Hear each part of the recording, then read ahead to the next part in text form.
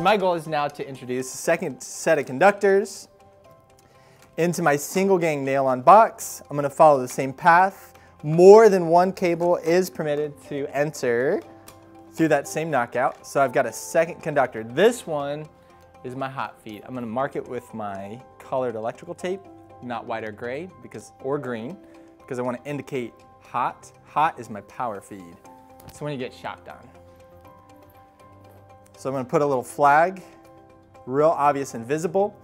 Everything you do has to be obvious and visible to the extreme because most painters are gonna spray right over this box. They're gonna disguise the color coding and I want that flag to be readily evident. I don't wanna just wrap it real tight on itself.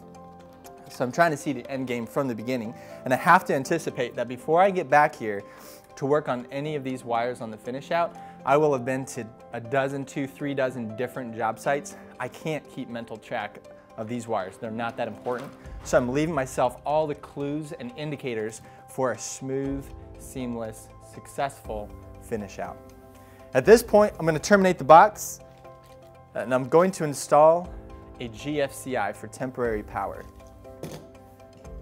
I have my Milwaukee strippers. I'm gonna take three quarters of an inch, stripped off the end of each wire. This is 14 gauge wire. So I've noted my 14 gauge hole, strip hole. That's prepped. I'm now going to crimp my grounds. So I'm laying my conductors in the box so they're not twisted and wrapped around each other.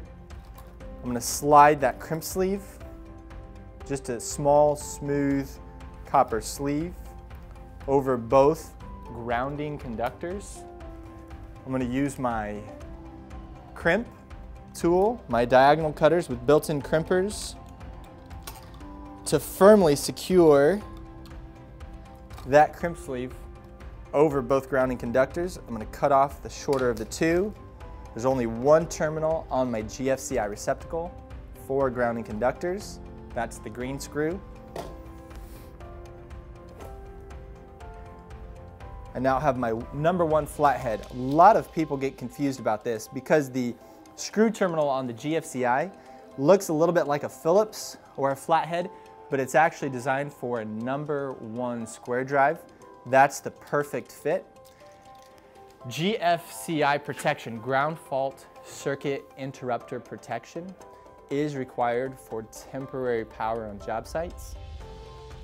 That's why I'm using this device. They cost anywhere from 10 to $30 depending on your point of purchase. Now I'm going to take my set of two conductors, black and white, and I'm going to terminate the one with the flag on the side indicated line. I'm going to insert it into either of the two holes and I'm going to snug it. This is not the time for death grip. You will strip out the screw, but you want firm and snug without any play or slop.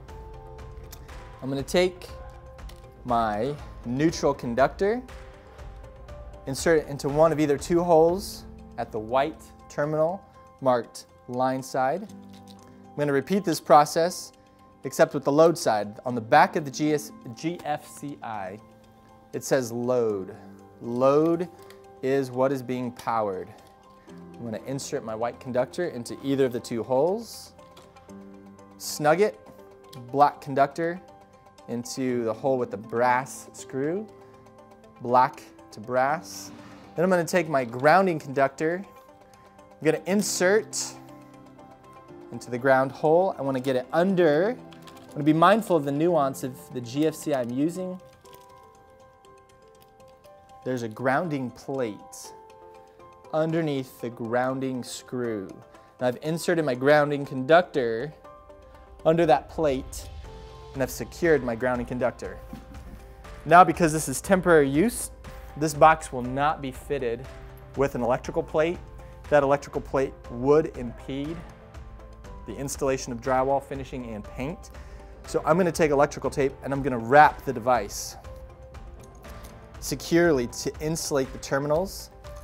Total of three wraps of electrical tape to prevent shock hazard to anyone who comes after me. I'm gonna leave my screws free.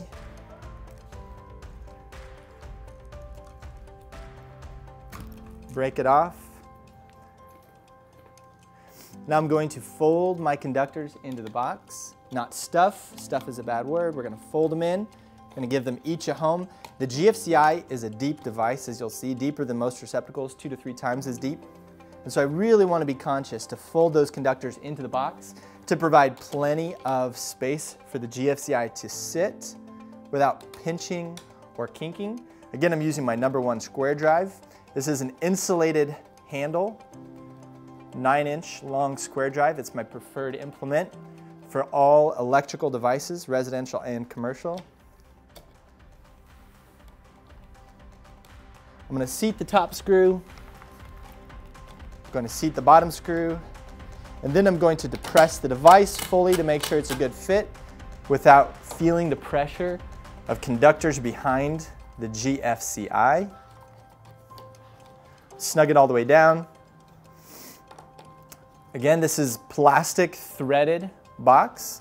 It's not meant for the death grip. I'm just gonna snug it down. Next, we're gonna be bringing additional cables into the box, labeling all of them with a clear purpose so that when the walls are finished, we come back at a later date, total confidence about the purpose of each conductor.